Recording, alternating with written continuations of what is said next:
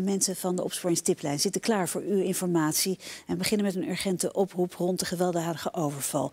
Die twee nog altijd voortvluchtige daders vanochtend pleegden in Rotterdam.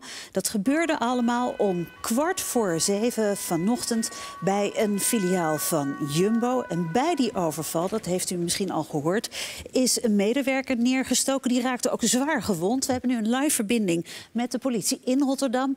Uh, mevrouw Slot, hoe verliep die overval? Nou, vanmorgen is dus in alle vroegte een, uh, een jumbo aan de Spinozaweg in Rotterdam-Zuid overvallen. Het was rond kwart voor zeven. De winkel was nog gesloten, maar twee mannen die wisten toch binnen te dringen met een mes. Uh, er waren al meerdere personeelsleden aanwezig. Ze hebben ook één medewerker neergestoken en een andere ernstig bedreigd. Ze hebben toen uh, wat geld verzameld bij elkaar en toen hebben ze die tweede medewerker gedwongen om in een auto te stappen, hen mee te nemen en hen af te zetten ongeveer een kilometer verderop bij de Enk. Nou, deze medewerker die is er verder zonder fysieke verwondingen vanaf gekomen. Maar u kunt zich voorstellen dat dit echt verschrikkelijk eng voor hem moet zijn geweest. En dat de impact echt heel erg groot is. Ja, kunt u iets vertellen over de toestand van die neergestoken medewerker?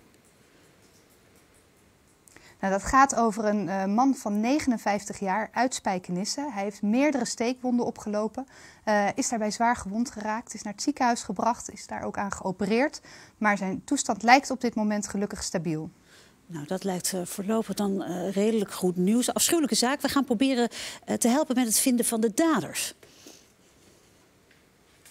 Ja, want wij zijn dringend op zoek naar getuigen, mensen die misschien iets gezien of gehoord hebben.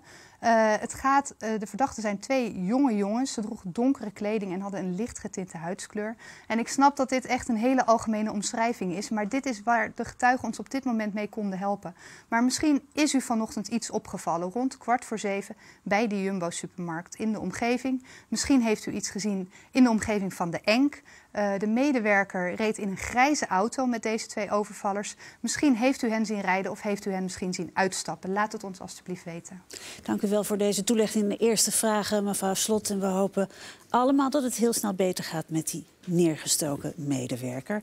En u thuis kunt dus helpen door het meteen aan de mensen van de tiplijn door te geven als u iets vermoedt over deze daders. Ze misschien dus heeft gezien of hopelijk zelfs beelden van hen heeft. Zulke beelden kunt u uploaden via een tipformulier op de site. En iets vertellen kan dus gratis op 0860 70. Uw informatie wordt dan meteen doorgegeven aan het rechercheteam in Rotterdam.